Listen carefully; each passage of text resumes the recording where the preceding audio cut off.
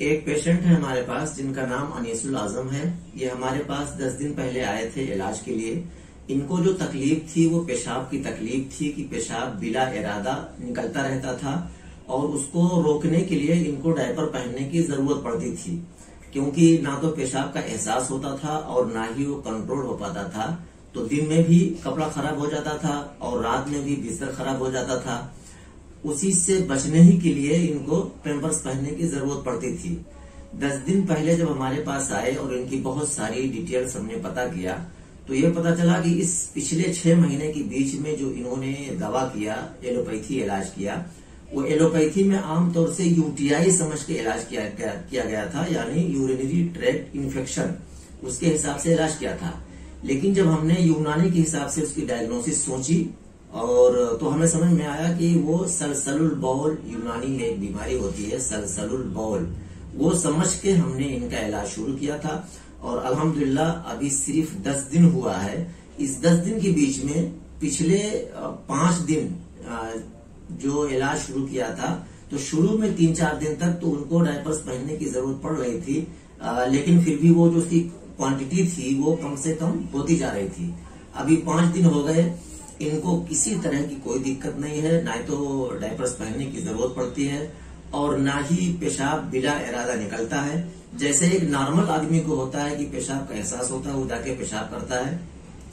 दिन रात मिला के चार पाँच बार पेशाब जाना होता है तो वही सारी कंडीशन इनको है। यानी तकलीफ़ के हिसाब से, अल्हम्दुलिल्लाह, दस दिन में ये बिल्कुल नॉर्मल हो गए।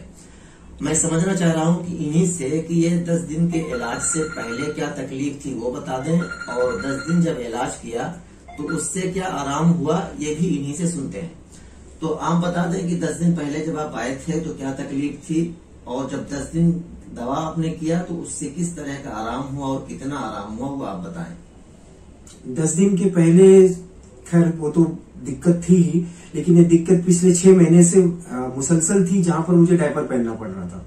और डायपर का भी ये मामला था कि दस आठ से दस डायपर मेरा दिन में चल, चला जाता था। जब डॉक्टर साहब के पास आया तब भी भी पाँच से छह डायपर का मुझे इस्तेमाल करना ही पड़ता था। आने के इलाज के पाँच दिन के बाद में एक एहसास होता है कि रात में मुझे पेशाब हो जाती थी और मुझे पता भी नहीं चलता था। दिन का तो था कि ध्यान रखने पर थोड़ा बहुत फ़ायदा था बट रात का तो ये था कि कभी भी हो जाती थी। लेकिन अल्हम्दुलिल्लाह शुरू के पाँच दिन में मैं एक डायपर और उसके बाद ऐसा हुआ कि बिना डायपर के, पिछले पाँच दिन से तो बिना डायपर के हूँ मैं। एहसास भी बहुत सही है, पता चल जाता है मुझे पेशाब का भी। और माम, जैसे नॉर्मल लोगों को पेशाब हो रहा है, उसी तरीके से मुझे दिन भर में या दिन या रात मिला के आप बोलेंगे तो तकरीबन चार से पाँच बार मैं पेशाब के लिए जा रहा हूँ तो अल्हम्दुलिल्लाह, काफ़ी बेहतर है, बेहतर और अल्लाह का शुक्र है कि अब मुझे पता भी चल जाता है।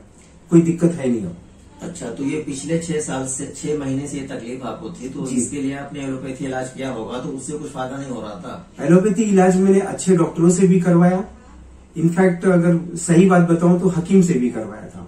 जी। मगर कहीं पर भी कोई फ़ायदा नहीं हुआ तकरीबन सात से आठ डॉक्टर तो चेंज हो चुके थे मतलब पिछले छह महीने में। किसी ने इस तरह से कारगर इलाज नहीं किया था। अच्छा अच्छा। आपकी दवाइयों ने माशाल्लाह काफ़ी काम किया। अच्छा अच्छा अच्छा। तो ये जो वीडियो बनाने का हमारा मकसद है, उससे लोगों को ये बताना मकसद है कि आपकी इस जैसी तकलीफ़ यूनानी इलाज से आसानी से ठीक हो जाएगी। और अगर किसी ने भी यूनानी इलाज कहीं से ट्राई किया है और उनको आराम नहीं मिला तो शायद जो यूनानी डॉक्टर थे, उनकी डायग्नोसिस में या उनकी दवाओं में कुछ कमी रह गई होगी तो ऐसे लोगों को कोई अच्छा यूनानी डॉक्टर तलाशना चाहिए। हमारा सेंटर अल हकीम यूनानी मेडिकल सेंटर मुंबई में है, जो एक अच्छा सेटअप है, यूनानी ट्रीटमेंट किया जाता है।